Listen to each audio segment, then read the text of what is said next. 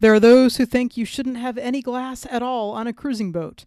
I think differently. Hi, I'm Nika Waters, and welcome to the Boat Galley Podcast. Listen in as today we explore the five reasons we have glass on Calypso.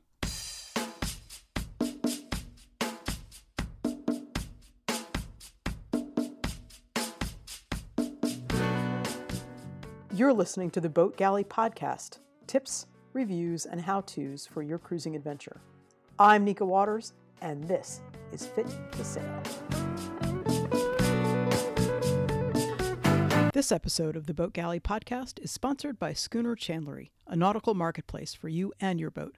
Find traditional supplies for your new or classic boat, as well as nautical art and unique boating items from a wide variety of craftsmen. We also have the legendary Freebag for incredible comfort aboard. Are you a nautical maker? Use the coupon code BOATGALLEY before March 2019 and sell your wares commission free for all of 2019. Schooner Chandlery, traditional supplies for your classic boat.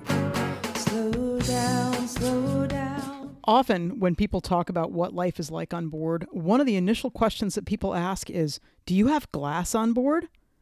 I always answer yes. When I answer yes, and absolutely there's no question in my mind that I answer yes, there's often a sharp gasp. People can't believe that we actually have glass on board. Aren't you afraid it's going to break? Aren't you worried about dropping things? Aren't you thinking that they're going to shatter and you can't keep them and there will be problems with that? People don't like to have glass bottles of beer on the boat. They're excited about box wine because then they don't have to have glass on the boat. They want to drink out of plastic or eat off of melamine or plastic. I know people who have gone so far as to make sure that they only have plastic eating utensils, even though that's not glass. That's a totally different conversation. But how could we possibly have glass on board? Don't we know that it's going to break and shatter and be impossible to clean up? You can't pick it all up, and they're going to be shards, and you're going to come across them all day, every day for the rest of your life. People tell me and they share these stories about somebody who knew somebody who knew somebody else who had a glass bottle once and it shattered on the boat and it all got everywhere and they couldn't help themselves and they cut themselves every time they turn around. And yes, I don't mean to say that glass isn't dangerous. Glass is on dangerous if you have it on land, too. And there are definitely some precautions that we take with the glass that we have on board. We're careful to store it where it's well wedged in. We actually carry stemless wine glasses. The ones with stems, I don't like them because they're tippy, but the ones that are stemless, I can hold on to and wedge in places pretty easily. And before I store them, they're wrapped up in cloth napkins and yes, that's something else we have on board is cloth napkins. And they're tucked into the cubby that we have carved into the middle of our table.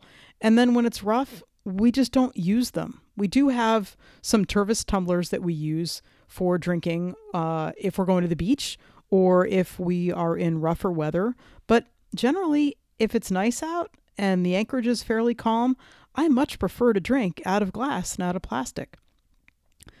We're also really careful when we pull out those glass glasses.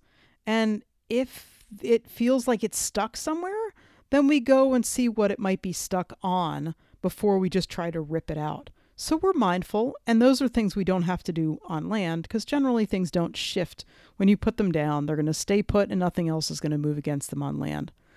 But I will tell you, other than my personal preference for drinking out of glass, is that glass is absolutely useful to have on board.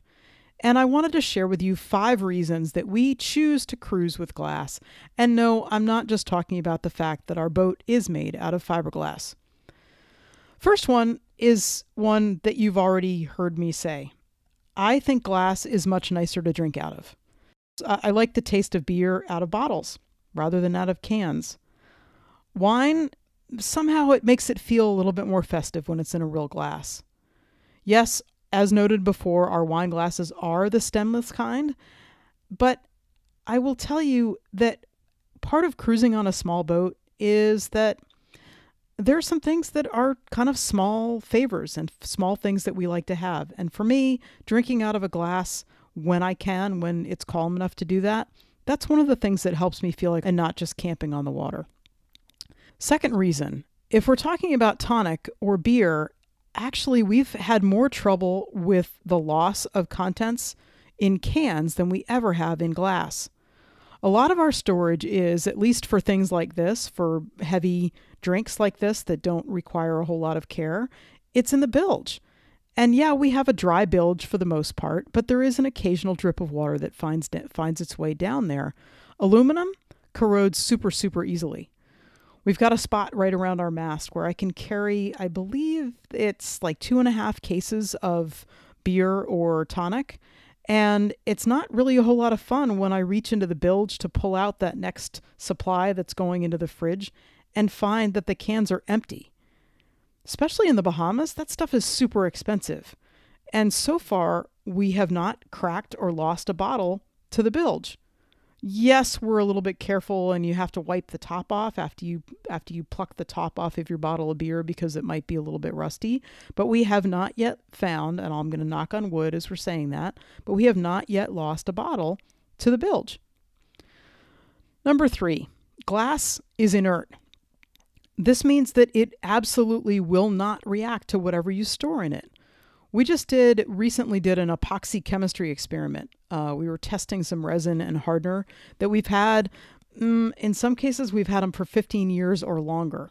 We actually have stored a whole lot of it in mason jars with tight sealing caps, and those versions they were just fine. Yeah, we had a little bit of rust that we were dealing with with the tops, but the mason jars themselves they were fine, and so were the contents. The stuff we had in the original cans that the epoxy came in, that didn't hold up as well. There you go. Glass is inert. Third reason that glass is actually decent to have on board. Number four, glass is actually easier to recycle or dispose of than any plastic. In many countries, glass bottles are so prized and hard to find that people leaving the country sell their empties to a newcomer. Jeremy was telling me about when they were living in North Africa that it was actually the big, huge deal for the expats before they left. They would figure out who they were going to bestow their empties on because you couldn't buy new ones. You just had to reuse what you had. And even in places like Trinidad and other spots where we're more likely to cruise, people would reuse their glass bottles. You would take your empties when you were finished with them, and it wasn't just you took them to a recycle center and they paid you the deposit back, and then you watched basically as they smashed them all. No, they actually wash them out and fill them up again and reuse them. That doesn't happen with anything with plastic or aluminum for that matter. And any glass jar that you have on board, it can be washed out and used again and again and again and again and again. It's pretty awesome that way. That's the ultimate recycling, isn't it? Reusing it. And the fifth reason that we actually believe in having glass on board is that if you want to can your own meats or veggies or sauces, glass jars are the only way to go. They can be cleaned, sterilized, and heated to safe temperatures because, as noted with number three, glass is inert. There are definitely times on board when we don't use glass, but our feeling on Calypso is that class is a really good thing to have on board. What about you? Thanks for listening. If you like the show, please be sure to subscribe in your podcast app. Just search for the Boat Galley Podcast, and reviews are always appreciated. Until next time, then. Slow down, slow